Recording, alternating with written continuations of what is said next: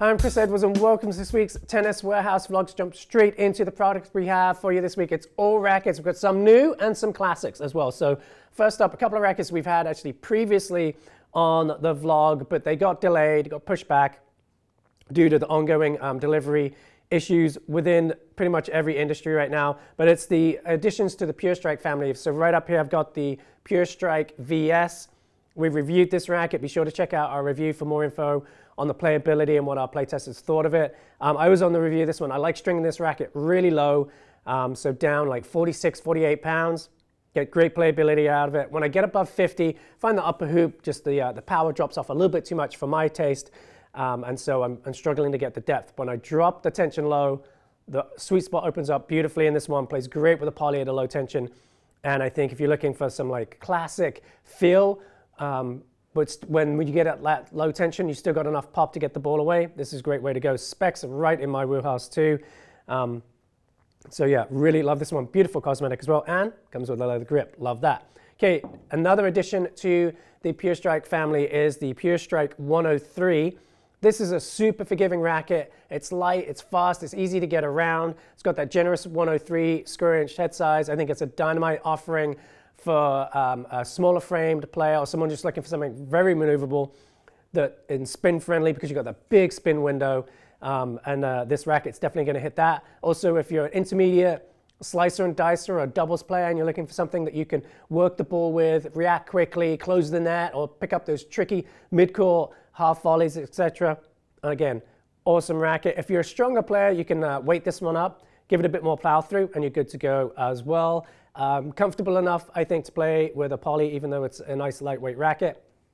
Put a multi in it though, and you're going to really get some nice pop out of that one. Okay, so that's the new rackets. Let's have a look at the classics. First up, we have a uh, Dunlop Maxply Fort, and we've actually brought the price down on this one too because it just does have a slight bit of warpage to the hoop. It's it's minimal, but it's there. So we're offering this one at a discount.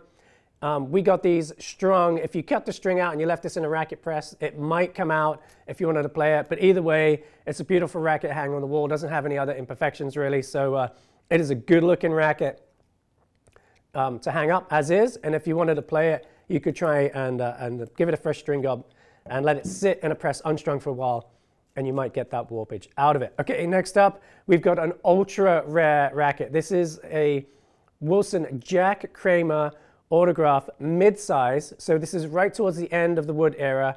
You hardly ever see these. This one's in absolutely brand new condition. It's graphite reinforced in the hoop, and it does have um, what they call a mid-size head. It's a bigger hoop than you would get out of a traditional wooden racket. Super rare. Don't see many of those. If you're a racket co collector, um, be sure to get that one's got a nice channel groove too. I just noticed right there from the uh, in the hoop to protect the strings from uh, court abrasion. That's a, a classic, and again, um, I don't know if we'll ever get another one of those in stock.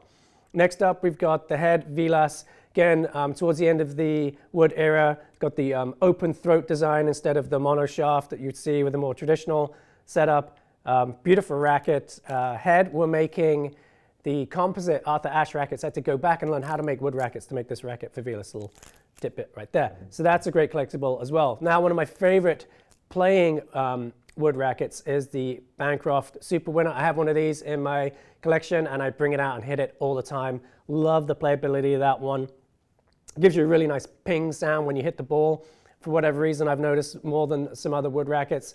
And, uh, and it's, I think, a pretty forgiving uh, and easy to use wood racket as well. Love the really skinny shaft on that one. Whips through the air super quickly. Fun one to use right there. And then last but certainly not least, we've got another end of the wood era racket here. This one from Tad Davis. This is their Topspin. And again, we've got that open throat design on this one as well. Okay, that's all I got for this week. Thank you so much for watching.